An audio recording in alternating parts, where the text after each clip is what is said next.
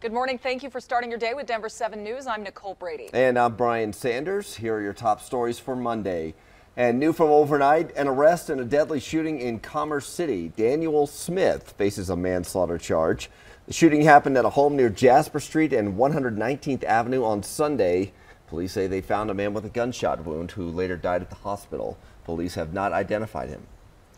Boulder County is alerting to an increase in COVID cases. The county's health department says the number of new cases per 100,000 people topped 200 last week, shifting the county from low to medium spread under federal guidelines. The city of Boulder is returning to virtual city council meetings for now. Some staff contracted COVID after an in-person meeting earlier this month. And we finally know when the Avs second round series will start against the St. Louis Blues. Game one will be Tuesday night at 7.30 at Ball Arena. Game two will be Thursday night.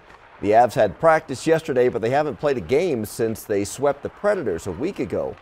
Here's meteorologist Lisa Hidalgo with your Denver 7 forecast. And it is going to be a beautiful start to our day. Uh, looking at temperatures this morning that are going to be in the mid to even upper 50s. Pretty clear skies, lots of sunshine early on. And we're looking at by this afternoon another day of mid to upper 80s, closer to 90 up over the northeastern corner of the state, 60s and 70s for the mountains. Now we are tracking a chance for a few thunderstorms this afternoon. So we're getting into more of a spring like pattern with sunshine in the morning and a few storms developing in the afternoon. Even a chance for a little severe weather on the far eastern plains. Could see some larger hail and damaging winds with a few of those isolated storms.